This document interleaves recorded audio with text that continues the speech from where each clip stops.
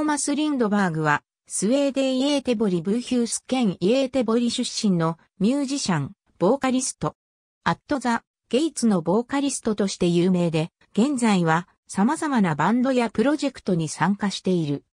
名前の表記については、ファーストネームがトマスになったり、ファミリーネームがドイツ語の読みに近いリンドベルグになった表記が見られる。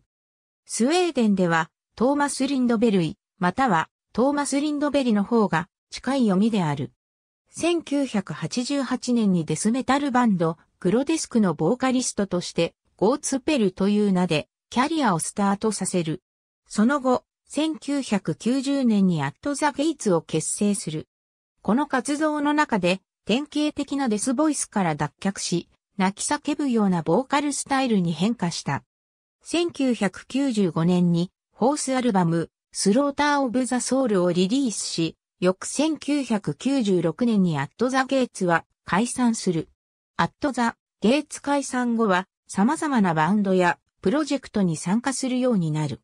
アット・ザ・ゲイツが解散する前の1994年にはクラストコアバンドのスキットシステムを結成していた。当初はプロジェクトバンドであったが、アット・ザ・ゲイツ解散後に活動を本格化した。しかし、2004年春には脱退している。